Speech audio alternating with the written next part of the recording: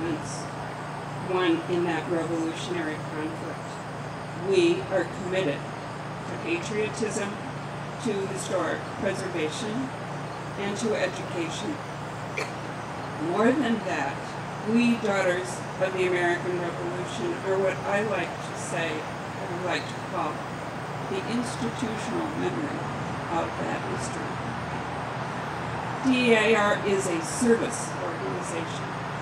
Nearly a million women have proven that they are part of this revolutionary lineage, with nearly 200,000 active today. We honor the service of men like Charles Denny and women who were inspired to give of themselves. And we honor our veterans and active duty military today. Deeply grateful for what we have. We give to others and draw satisfaction from being a part of our communities as we do so. We are naturally a part of the preservation of history and have been in this very place two years ago to do so. We have also honored our friend Matt Taylor for his own commitment to historic preservations. Indeed, daughters were here 80 years ago to participate in the dedication of this very cemetery. The patriotic cadence we hear today, not just by our drummer, Will Jennings, but by our brothers in SAR, is a homecoming to our hearts, a thrill to share with our friends in Montana.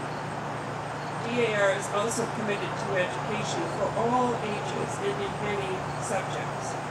This time of the year, we are raising the awareness of our beloved United States Constitution by federal law, September 17th to the 23rd each year is proclaimed to be Constitution Week. This is a concept originally urged by the DAR. For Constitution Week, we daughters work to reawaken appreciation for our magnificent founding documents among our fellow citizens and especially students. Our own chapters Constitution Week Chairman Erin Mongelli, who I know is here today, but she may be back a little bit further with her children near our tent. Um, Erin has won local and national awards for her visits to many classrooms and her creative teaching of the Constitution story. She prepares display kits for multiple schools and makes sure that there is plenty of education to be served up along with her enthusiasm.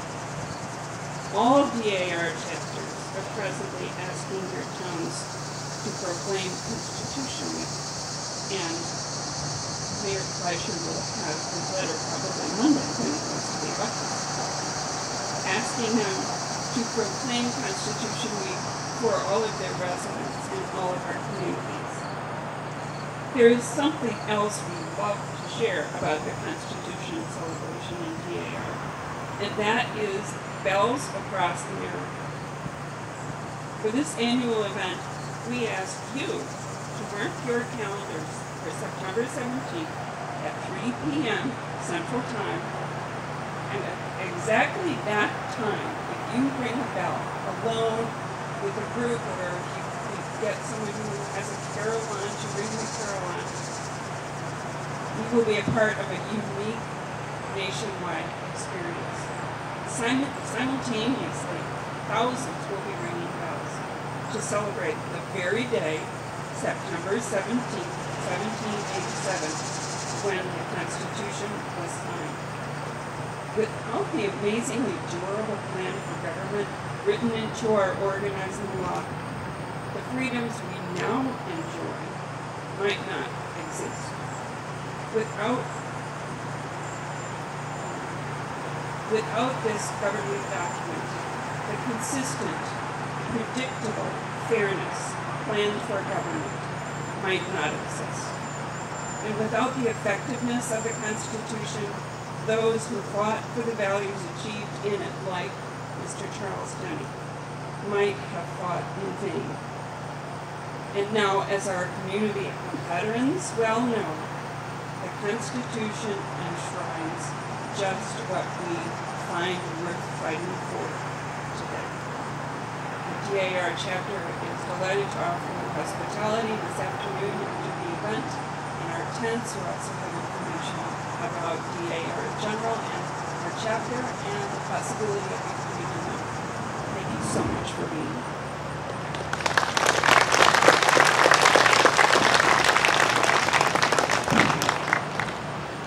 Now I'd like to introduce you to James Hogan, Post Commander of the William Martin VFW Post 725. Order, arms. Good morning. Good morning. Thank you all for coming. I'd like to thank the uh, DAR and the SAR uh, for uh, the drive behind um, the Charles Denny plaque. Uh, anytime this nation honors a veteran is a good day. And this community, especially the village, has been patriotic from day one. I moved in here in 1992 and they have taken care of veterans and the William Martin Post all this time. Uh, it's, it's been a pleasure to be part of this. Uh, and I'd like to say that Charles Denny did not die in vain or fight in vain because we all don't have a British accent and we're not part of this Brexit thing going on. So, God bless America.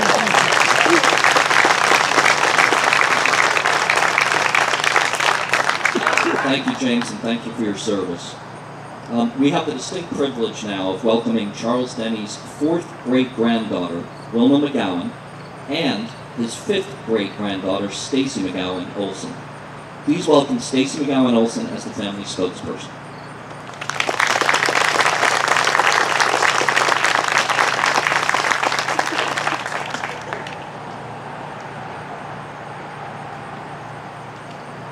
Good morning and greetings from the distance of seven generations and 209 years separating grandfather Charles and his granddaughter Stacy. Just over a year ago, our questions and allowable time saw mother Wilma and me doing a deep dig around Will County and within its history of 1834-1835 and the ensuing generation or two. But this is where we diverge to southwest Wisconsin and places further north and west. It was during our research in Will County, specifically with the aid of amazing volunteers at Will County Historical Society and Frankfort Area Historical Society, when we were introduced to not only many passionate history volunteers, but bonus, a Denny historian, Galik who gets to be so lucky. These folks are these folks are an amazing historical support here in your county. Truly, truly inspiring. Following genealogical trails is often as slight as a gossamer glimpse of a wind-blown spider.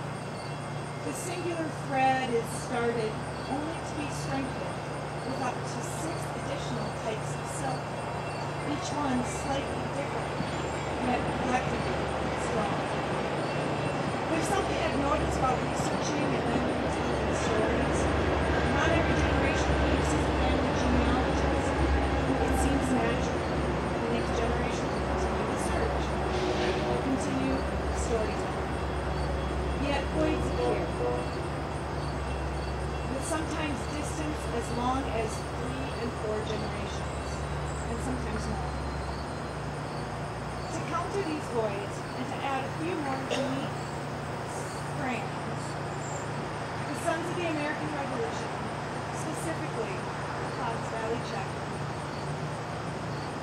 Our family is very grateful and honored by all of you strengthening history by keeping it visible, by keeping it celebrated, and by keeping it growing. Thank you for all you do for our country's history.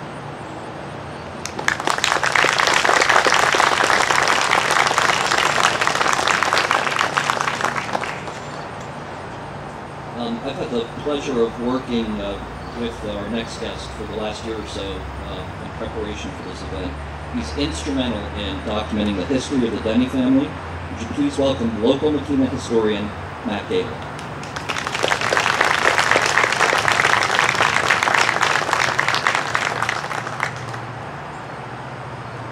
Hello all. Uh, my name is Matt Galik.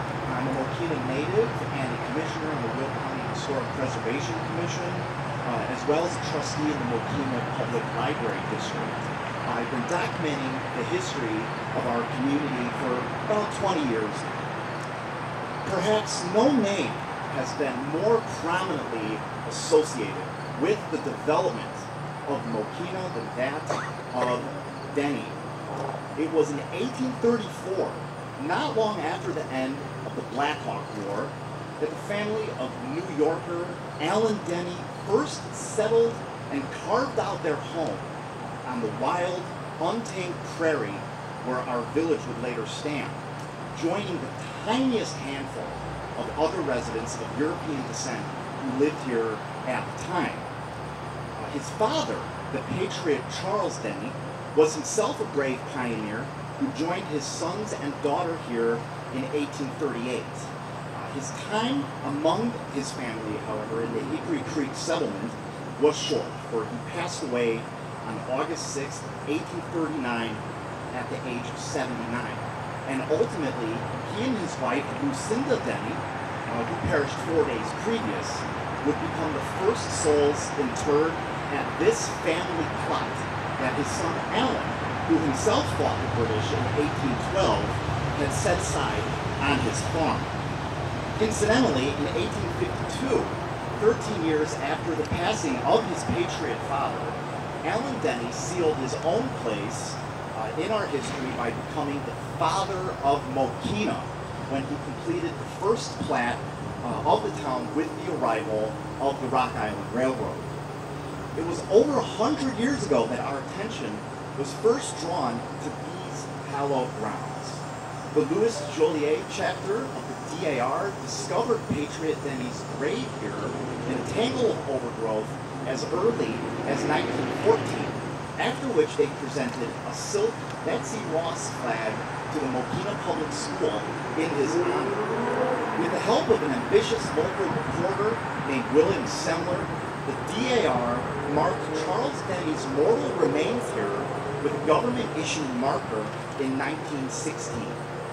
22 years later, in 1939, the General Henry Dearborn chapter of Chicago came to Mokena to dedicate the granite boulder which still prominently stands to this day.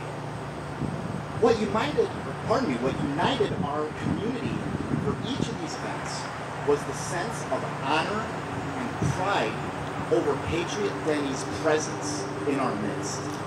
I can safely say that today, Mokena feels this same sense of proudness, not only for his sacrifices during the tumultuous years of the revolution, but for his having been one of us. Thank you.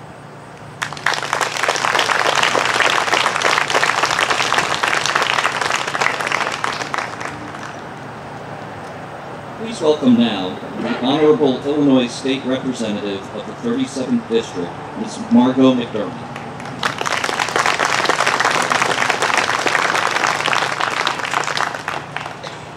Good morning, Mokena, and welcome to all our guests here who have honored us today with their presence and their work. We're gathered here at this local historic landmark to rededicate and remember what is believed to be the first known Christian burial site in Mokena. By honoring the final resting place of this soldier, who chose to live out his days in Mokena, Illinois, we remember that this unassuming cemetery that so many pass by every day is rich in both local and national history. Charles Denny fought in the Revolutionary War. His son Alan Denny, who set aside this plot, fought in the War of 1812. Although Charles Denny was not a native to what came known as the state of Illinois, he chose to make it his final resting place. Like many post-Revolutionary War soldiers, Denny and his family moved west, and began to found what would become the town we now know, love, and many here today call home. They set out to explore, discover, and settle a land that was largely unknown further east, but wide open. The land the Denny family tilled and the decisions they took part in quite literally shaped the Mokena and Frankfort that we know today. Generations of families like this created the cultural identity of what it means to be an American, an Illinoisan, and a resident of Mokena. A village is an amalgamation of pioneering families and their ancestors, a developing community forged by how they chose to raise their kids, the values they instilled in one another, the revolutionary spirit kept alive even today, right up to our own Aaron Toplin, building on each other over time. The snowball effect of the Denny family and other families like theirs eventually formed Mokena into the community that